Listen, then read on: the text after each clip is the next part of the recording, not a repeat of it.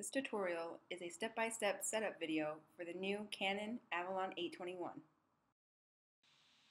We will be showing you all of the products you will need, how to set it up, and how to run the miner at its max hashing rate with the most efficient power consumption. This is the Avalon 821. It has a hashing rate of 11 terahashes per second at a power consumption of approximately 1200 watts. It is one of the most efficient miners on the market. We are using a power supply unit with a minimum of 8 plugs with a max output of 1300 watts on a 110 volt power outlet at a 93% efficiency rate. Power cord must be purchased separately. In order for your miner to mine to the correct pool, you'll need an Avalon controller. These controllers can deploy up to 20 units. Controllers do not come with a power adapter. You will need to purchase it separately.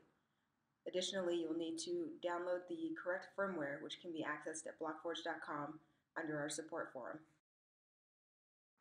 To connect your miner to your Avalon controller, you will need an AUC3, an AUC3 cable, and a micro USB to USB cable.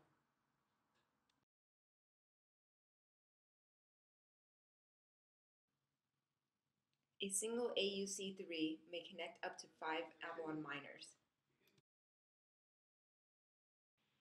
First, you'll need to make sure your Avalon controller is set up with the correct firmware and is configured to mine to the correct pool. Then, plug in your micro USB power adapter and Ethernet cable.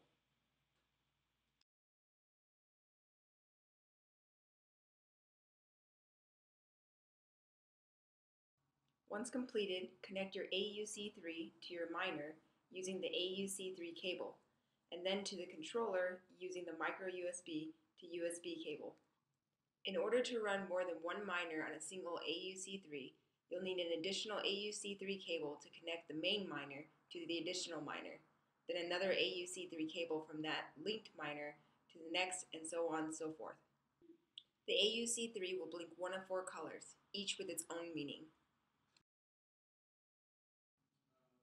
Now connect 8 of the 6 pin plugs from your power supply unit to your miner. Remember, your power supply unit must have a max wattage output, meeting or exceeding the miner's power consumption wattage in order for the miner to run.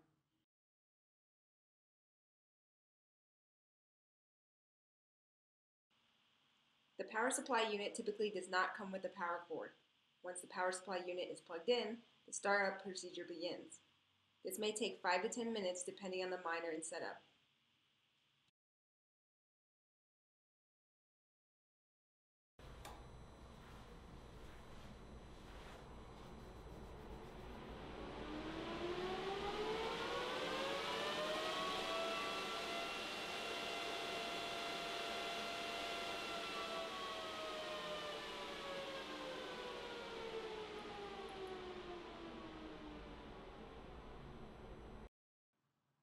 Here you can see with a 93% efficient power supply at 117.9 volts, it is consuming 1,238 watts.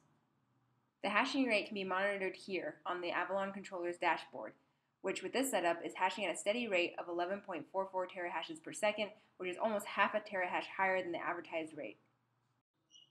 For more information, support, and tips, please visit our website at blokforge.com and join our community forum or visit canaan.io.